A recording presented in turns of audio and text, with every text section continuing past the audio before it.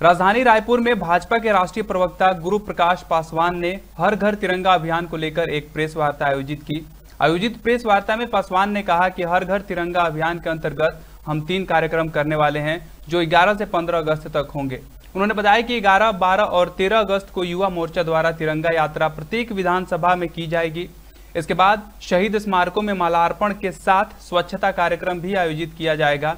इसके तहत ही 14 अगस्त को स्मृति दिवस मनाया जाएगा। प्रेस वार्ता के दौरान ही भाजपा के राष्ट्रीय प्रवक्ता गुरु प्रकाश पासवान ने बैठक में संकल्प लिया कि हर घर तिरंगा के माध्यम से घर घर में तिरंगा लगाया जाएगा। आप